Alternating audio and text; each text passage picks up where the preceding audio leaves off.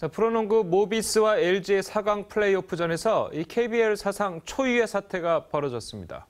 이 LG 외국인 선수 데이본 제퍼슨이 애국가가 나오는 동안 혼자 노래를 들으면서 스트레칭을 하는 모습을 보여서 논란이 되고 있습니다. 신환승 기자입니다. LG와 모비스의 4강 플레이오프전. 경기 시작 전 선수는 물론 관중까지 엄숙하게 애국가를 재창합니다. 맨 왼쪽에 서 있는 LG 외국인 용병 제퍼슨. 갑자기 다리를 벌리더니 왼쪽, 이번엔 오른쪽으로 시원하게 스트레칭을 합니다.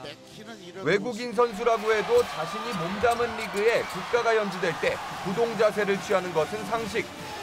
제퍼슨은 어깨가 아파 스트레칭했다. 잘못된 행동이었다고 해명했지만 기자회견 1분 전에 본인의 SNS에 양손 가운데 손가락을 보이는 사진을 올려 다시 한번 논란이 됐습니다.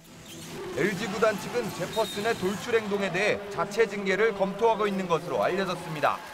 대한농구협회 측도 어제 제퍼슨을 재정위원회에 해부했으며 결과를 오늘 오전 발표할 예정입니다. TV조선 신환순입니다.